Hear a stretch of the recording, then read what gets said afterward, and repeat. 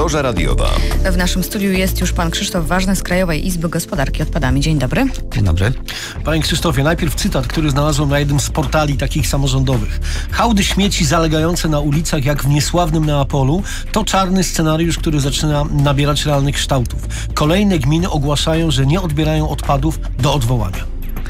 Yy, tak, to są tematy, które dzisiaj bardzo dla gmin są bardzo ważne, dlatego że yy, odpady, które do tej pory były odbierane przez przedsiębiorstwa, czy to były samorządowe, czy to były prywatne, yy, kończą się przetargi na realizację tych zadań. Znaczy kończą się umowy. Kończą się umowy, gdzie było albo w systemie zagospodarowania i, odbiór tych odpadów w gminach była taka usługa, a nowe realia rynkowe pokazują, że od tego roku, jak Państwo wiecie, coraz więcej jest y, zmian ustawowych. Mówię tu o rozporządzeniu ministra w sprawie y, pięciopojemnikowego systemu zarządzania. W Polsce przyjęto jednolity już system. Do tej pory było jak gmina sobie tak sobie robiła, ale ma vacatio legis było tylko do czasu zakończenia starych przetargów przy rozpoczęciu nowych przetargów już system musi wejść w pięciopojemnikowy czyli po zarządzanie. Prostu, żeby te śmieci segregować jeszcze bardziej dokładnie. Tak jest. Do tej pory było suche, mokre, czyli dwa pojemniki. Jeżeli z dwóch pojemników mamy zrobić pięć pojemników, yy, na każdy pojemnik trzeba przyjechać osobną yy, śmieciarką albo mieć śmieciarkę, która ileś frakcji wrzuci na, na, na, na, na, na pakę, że tak się wyrażę. I, ale to jest tylko przy selektywnej zbiórce. W związku z powyższym wyjazdy, w związku z tym ilość odpadów, ilość pojemników, wyposażenie w pojemniki, gminy są nieprzygotowane, bo nie podniosły opłat w zeszłym roku, a w tym roku już będą musiały realizować zadanie. A dlaczego tego nie zrobiły? Bo o tym, że się zmieni ta ustawa, to było wiadomo mniej więcej od połowy zeszłego roku. Droga koleżanko, kto by podnosił opłaty w roku wyborczym? Chciałam to usłyszeć od gościa, nie od ciebie. W 2017 roku ustawa przedstawiła, jak będzie wyglądać stan gospodarki odpadami dla gmin po zakończonych przetargach, które by się już kończyły od 17, 18 i tak dalej.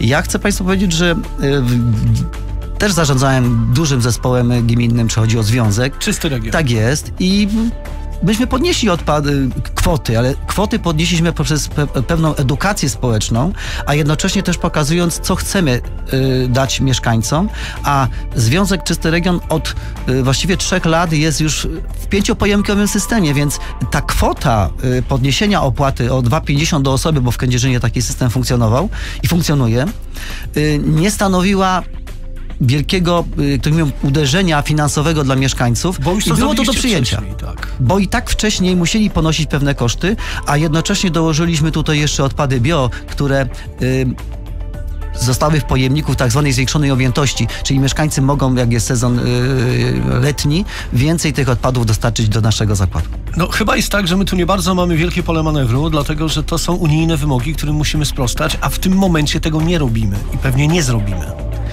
Y, chcę Państwu powiedzieć tak, że bardzo ważną rolą to jest nie tylko sprawa y, włodarzy, czyli samorządu, jak organizuje sobie system zarządzania gospodarką odpadami. W Polsce był taki zaplanowany swojego czasu, że będzie zintegrowany system zarządzania gospodarką odpadami w każdej gminie. Było to powiązane z elektroniką, systemem odbioru odpadów, y, tak zwanym inteligentnym pojemnikiem, czyli każdy pojemnik, który by był dostarczony do, do mieszkańca, czy każdy worek dostarczony do mieszkańca byłby oznakowany, odpowiednio szczytywany i mielibyśmy pełną kontrolę, czy selektywnie zbiera mieszkaniec, czy nieselektywnie zbiera. I ta kwota, która docelowa miała być za, za, za, za zagospodarowanie odpadów, miała tutaj być y, y, y, różnicowana poprzez to, jakiego mamy obywatela, czy selektywnego czy nieselektywnego. Jak Państwo wiedzą, system selekcji w blokach, w blokach wielorodzinnych jest systemem utopijnym i tutaj nie, nie wiadomo kto, bo wszyscy odpowiadają za wszystkich. A, no ja tak a jak mnie nie widzą, to ja nie muszę wcale robić selekcji. W związku z powyższym, jeżeli się mieszkaniec, czyli ja sam nie, jak to mówią, zweryfikuje swojego stanu środowiskowego, że ja chcę być jednak czysty i chcę selektywnie zbierać, to my nic nie zrobimy. Ustawy już funkcjonują, wszystko funkcjonuje, tylko teraz obywatel musi też powiedzieć sobie tak, ja też zaczynam od siebie realizować to zadanie. To nie jest takie proste. Ja byłem dzisiaj rano, wynosiłem śmieci i moje te kontenery nie wyglądały na, na inteligentne. Zacytować pana Krzysztofa. Natomiast jeszcze mamy ten problem, tam pół biedy taki blok jak mój. To czteropiętrowy blok, kilka klatek, y, tuż obok śmietnik. Da się od biedy mm, robić selekcję. Ale mamy jeszcze te wieżowce i tam są sypy. I to jest dopiero dramat właśnie.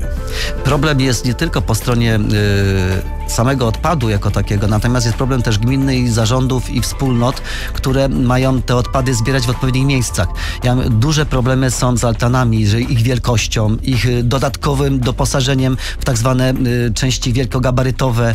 Y, te altany nie spełniają wymagań tak, jakby, jakie byśmy chcieli, Altany, żeby w blokach były zbierane W te odpady. rozumieniu śmietniki. W rozumieniu śmietniki, tak jest. I teraz, jeżeli te altany nie, poje, nie będą miały tyle powierzchni na to, żeby y, przedłożyć tam i pojemniki, bo jak Państwo wiedzą, dzisiaj jest tam czarny pojemnik, żółty, niebieski, zielony i ma dojść jeszcze y, brązowy w systemie. Więc teraz y, kolejne pojemniki, y, mnożymy pojemniki, natomiast nie mamy placu. Teraz jest pytanie, kto ma ten plac dać? Czy zarządca, czy gmina? No oczywiście gmina. Czy gmina ma tam plac? A nie zawsze jest tak, że można dać. W związku z powyższym, nie, żeby stworzyć warunki selektywnego zbierania w wielkich płycie, trzeba przygotować y, miejsca do zbierania w tej wielkiej płycie. A to ta nowelizacja wzięła się między innymi y, z ym, wymaganych poziomów recyklingów, które określa Unia Europejska. Mm, Zgadza się? E, Polska przyjęła dyrektywy, a z tymi dyrektywami przyjęła te poziomy recyklingu. I co to są te poziomy recyklingu? E, Te poziomy recyklingu są mierzone w tak zwanym wa- e, wadze MPTS, czyli metale, tworzywo, szkło i papier. To jest taki, taki, taki, taki sy- symbol, symbol, symboliczny zestaw do tego. I ten zestaw łączny, łączny, zaznaczam, że to nie jest, że ja zbieram papieru, papier i osiągam, to jest zestaw łączny, muszę robić wszystko i wszystko musi osiągnąć ze, ten poziom recyklingu. Oczywiście, jeżeli nie mam szkła, no to nie zbieram tego szkła, ale y, uważam, że wszyscy opakowania kupują, więc te szkło, ten papier, to tworzywo występuje. Tylko teraz jest pytanie, które z tych elementów zbieranych przez społeczeństwo, czyli przez mieszkańców w domach, w mieszkaniach, jest na tyle czyste, aby nadało się do recyklingu materiałowego, bo my tu rozmawiamy nie o recyklingu odzysku energetycznym, chemicznym czy jeszcze innym, natomiast rozmawiamy o recyklingu materiałowym i to, to są te poziomy odzysku, gdzie jest recykling materiałowy. Czyli to jest tak, że jeżeli mm, mamy śmieci, to na przykład 20 czy 30% z tych śmieci powinno zostać, mówiąc prosto, przerobione na coś innego, czyli poddane recyklingowi, czy Gdybyśmy założyli, że mamy tak zwany czarny pojemnik, do którego wrzucamy wszystko. I za ten czarny pojemnik społeczeństwo płaci tak zwaną opłatę za nieselektywne zbieranie odpadów.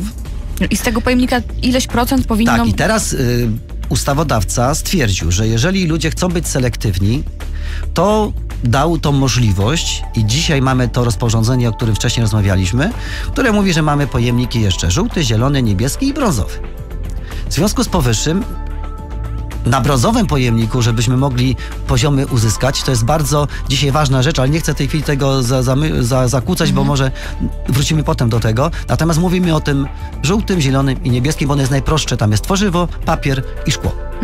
I teraz te elementy, tam jest oczywiście metale też występują, te elementy łączne mają spełnić ten poziom recyklingu, ale taki, aby przetworzyć to materiałowo, czyli nie zniszczyć i przetworzyć chemicznie czy fizycznie, natomiast musi to być przekształcone w sposób taki, aby służyło dalej społeczeństwu.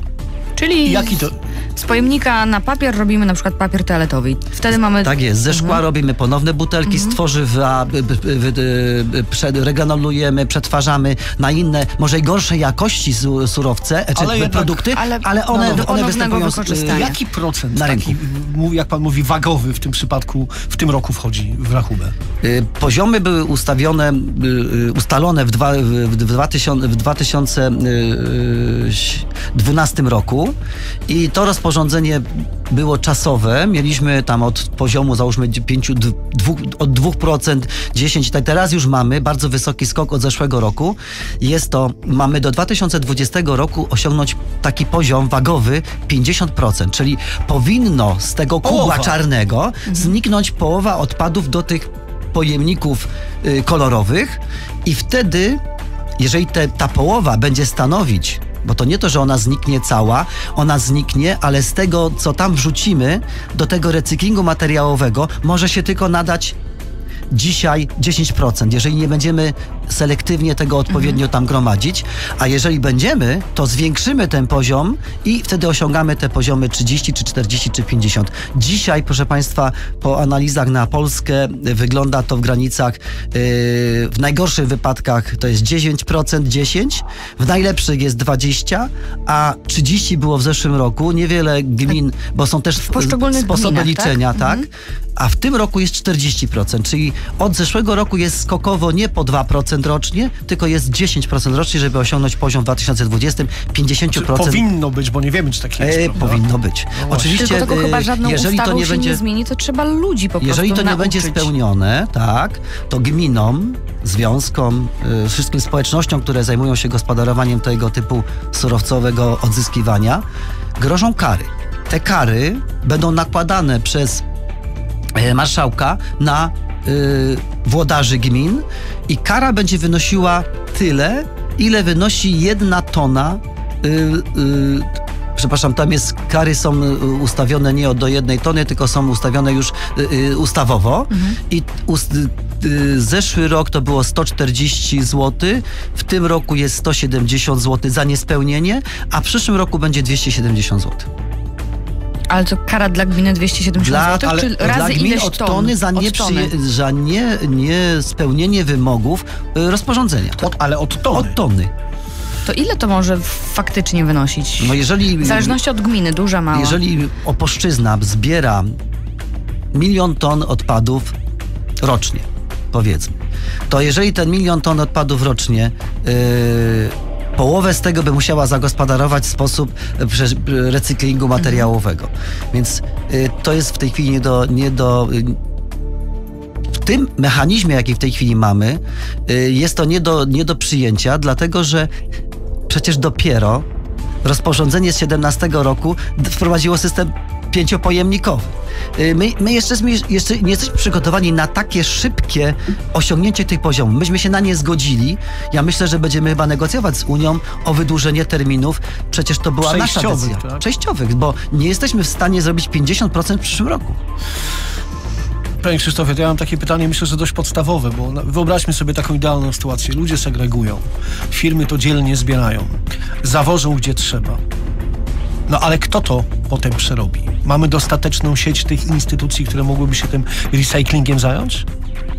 Jeżeli chodzi o cały system zbiórki odpadów y, i sieć instalacji, które mogą przetwarzać te odpady, to y, jako Polska jesteśmy po ostatnich dotacjach y, unijnych dość dobrze przygotowani, jeżeli chodzi o przetwarzanie biologiczne i przetwarzanie mechaniczne na etapie Pamiętajmy jedno, że to gminy, to przedsiębiorstwa prywatne takie zakłady pobudowały i to są zakłady do czyszczenia odpadów. Czyli jeżeli państwo wrzucą do tych wszystkich pojemników te odpady, one nigdy nie są idealne, więc te zakłady mają zadanie doczyścić te odpady. No a jak doczyszczą, to czy jest ktoś, kto z papieru Właśnie. zrobi nowy papier, z plastiku nowy plastik? U nas jest przerwa między tym, kto doczyści, a tym, kto to zagospodarowuje dalej. Jeżeli chodzi o tworzywa sztuczne w formie e, polietylenu tereftalan, czyli tak zwany popularny PET, e, polipropylen, polietylen, e, to te produkty mogą być regranulowane i zawracane do, do dalszego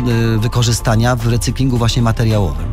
Natomiast firm, które dzisiaj skupywałyby tego typu produkty, przetwarzały tego produkty, jest zbyt mało i dlatego y, wszystkie fundusze w tej chwili są nakierowane na realizację y, firm, które mają recykling odpadów materiałowy właśnie z przetworzeniem w tych kierunkach, aby dalej można było te odpady, y, z tych odpadów wyprodukować jakieś produkty.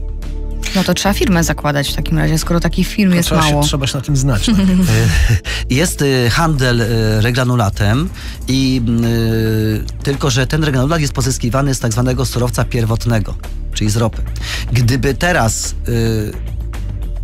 ten surowiec wtórny jest zanieczyszczony. W związku z powyższym firmy, które y, sprzedają czysty regranulat, wolą go mieć, bo mają lepszą cenę. Natomiast z, z recyklingu regranulat jest gorszej jakości. Ja już w tej chwili jestem w kontakcie z firmami, które na europejskim rynku handlują tym i jest takie przyzwolenie, że będzie sprzedawany granulat gorszej jakości, właśnie pochodzący z recyklingu, jako uzupełniający, ale wtedy te produkty końcowe będą też gorszej jakości. I teraz, jeżeli społeczeństwo przyjmie tą drugą część, że ten produkt będzie gorszej jakości i będzie on się sprzedawał, no to wtedy mam nadzieję, że ten regranulat z tego recyklingu będzie mógł być sprzedawany też na rynku. A co pan sądzi o takim pomyśle, żeby wprowadzić, tak jak mamy zwrot butelek tych szklanych, żeby zwracać butelki plastikowe za jakąś tam drobną no, gratyfikację, kaucją? kaucją. Plany takie były, aby sieci marketów dużych, y, czy to będzie Tetra Pak, czy to będą pety, były to butelki zwrotne. To jest możliwe no i tak takie butelki zwrotne mogą być i tak jest na zachodzie i to się, y, to się dzieje. Y, natomiast w Polsce ten rynek na dzień dzisiejszy, jak Państwo wiedzą, jest zbyt słabo rozwinięty. Dlaczego się mleko wlewa do, do butelki z tworzywa, a nie ze szkła? Powrót w Stany Zjednoczone, chcę powiedzieć, że w ogóle rezygnują z pet, z tworzyw, pakują wszystko do tak zwanych ekologicznego szkła, czyli praktycznie do szkła. Szkło stało być bardzo modne w Stanach. My dostajemy technologie już stare, które gdzieś kiedyś były i my je teraz tylko modyfikujemy i na tym rynku wprowadzamy. Dobrze Państwo wiecie, że dzisiaj yy, technologicznie i cenowo jednak ten plastik jest na wyższym poziomie oprócz szkła. W związku z tym przekształcenie się w tej chwili do szkła będzie wymagało też pewnych nakładów i też rynku, który przyjmie to szkło. Yy, tworzy, torby tworzywowe 25 groszy dzisiaj jest za to, że w markecie pani da.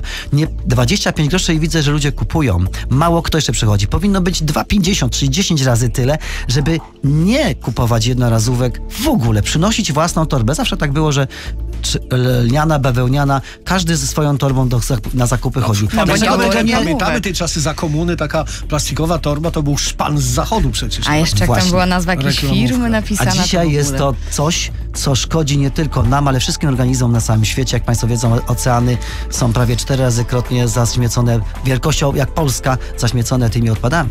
Hmm. Tak w tej rozmowie, z tej rozmowy wynika tyle, że właściwie wszystko zależy, mm, sprowadza się do tego, że zależy od nas, od poszczególnych... Od świadomości ludzi. Ludzi. Indywidualnie, Żadne od każdego z nas. odgórne nakazy, zakazy, ustawy, przepisy, Nic. opłaty nie pomogą. Każdy z nas musi sam odpowiedzieć sobie na pytanie, czy dobrze segreguje, czy kupuje reklamówki plastikowe i co z tymi y, śmieciami dalej zrobi. Jeżeli każdy z nas chciałby się czegoś dowiedzieć, to już się dowie, bo mamy tak rozpowszechnione w mediach informacje, jak zbierać, co zbierać, selektywnie, jak, jak to powinno wyglądać, co powinno być, więc każda gmina jest przygotowana na to, żeby to mieszkańcom przekazać. I tak to się też dzieje. I jeżeli mieszkańcy już wszystko wiedzą, ustawy są, rozporządzenia są, wiemy jakie mamy możliwości, to dwa punkty zwrotne powinny być. Pierwszy to jest ten u mieszkańca, który rzeczywiście sam siebie zacznie kontrolować, co gdzie wyrzuca i jak. Dwa, to co Państwo powiedzieli, że do jednej śmieciarki. Zdarzało się tak, ale ta jedna śmieciarka yy, to, jest, to jest źle, ona też jechała na tą stację przetwarzania i tam były inni ludzie, musieli to rozdzielić. Także lepiej, że do tej śmieciarki Podwójna wchodzi robota. jednorodny odpad, mhm. a nie zmieszany z jakimś tam innym odpadem. Dwa, muszą powstać zakłady, które przejmą tą część do czyszczenia odpadów, która się już nie nadaje po doczyszczeniu, do, recyk- po do, do recyklingu, to co się nadaje do recyklingu, to już idzie, ale ta, co się nadaje, to jest następna część, która nas zaśmieca. Spaliło się przecież ileś, w zeszłym roku ileś y, y, magazynów odpadów, gdzie były te odpady, które nie były do recyklingu materiałowego, tylko do odzysku energetycznego. Tylko która dzisiaj elektrociepłownia, ciepłownia współspala odpady, przetworzone oczywiście w kostkę, w bruk, w cokolwiek, bo dzisiaj już są różne sposoby, że można odpady podać nawet jak węgiel do ciepłowni, tylko nie ma filtrów. Po prostu my jesteśmy jeszcze energetycznie nieprzygotowani do współspalania tego typu odpadów, a on stanowi dzisiaj bardzo wysoką ilość procentową. Przed nami czwarta i ostatnia część rozmowy z Krzysztofem Ważnym z Krajowej Izby Gospodarki Odpadami. Która właściwie zajmuje się czym? Bo niewiele o tej instytucji słychać. Tak, Izb, Krajowa Izba Gospodarki Odpadami jest to izba tak zwana y, zrzeszająca podmioty samorządowe i wszystkie jednostki, y, które pracują dla samorządu. Y, jest to tak zwana przeciwwaga dla Polskiej Izby Gospodarki Odpadami, która zrzesza podmioty rynkowe, które pracują jako podmioty kapitałowe, kapitał własny, nie, nie kapitał tak zwany publiczny. Mhm. W związku z tym izba stwarza pewne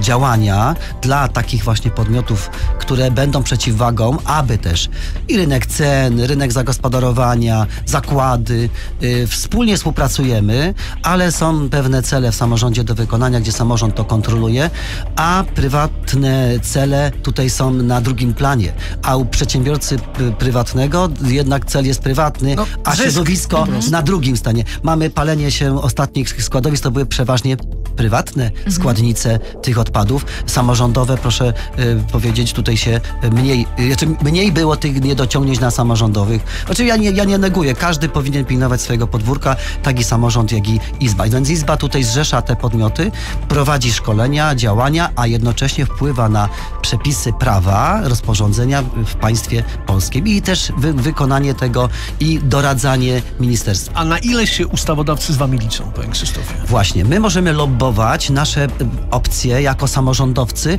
poprzez to, że ileś samorządów w Polsce y, uważa, że powinno tak być, a nie inaczej. Wtedy jest y, przygotowane y, odpowiednie tak zwane decyzje Izby, które są na podstawie różnych podmiotów, które z nami współpracują, że czy należałoby tak zmienić prawo, a nie inaczej, żeby nam było łatwiej, taniej, gospodarniej, a jednocześnie ergonomicznie w systemie.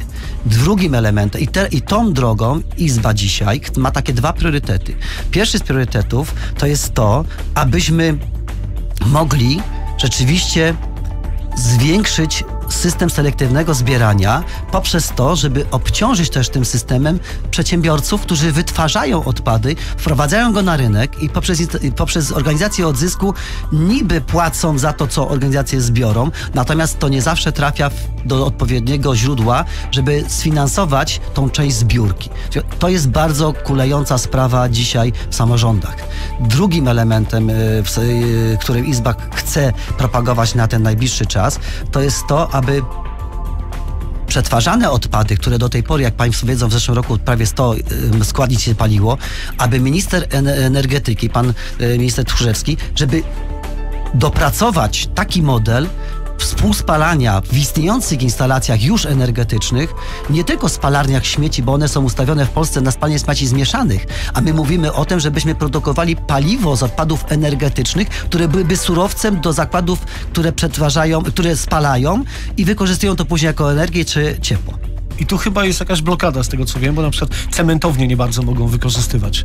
Jeżeli chodzi o cementownie, cementownie mają bardzo, mają bardzo sparametryzowany system e, przyjęcia odpadów do swojej instalacji. E, cementownie nam i mają ograniczoną wydajność. My mamy około na Polskę to jest 13 milionów ton odpadów. Jeżeli teraz cementownie przyjmą w granicach y, półtora miliona, to połowa tych selektywnych odpadów to jest około 350, 350 y, y, milionów, więc, więc przepraszam, 3,5 miliona ton. To te 3,5 miliona ton kto zagospodarowuje? Tylko energetyka. My musimy rozpocząć krucjatę współspalania odpadów w energetyce w, w, w instalacjach energetycznych. Jeszcze do tego chyba długa droga i długo o tym moglibyśmy rozmawiać. I jeszcze będziemy na pewno. Musimy na razie dzisiaj kończyć. Bardzo dziękujemy. Naszym gościem był dzisiaj Krzysztof Ważny, Krajowa Izba Gospodarki Odpadami. Dziękuję Dziękujemy. bardzo. Dziękuję bardzo. Loża radiowa.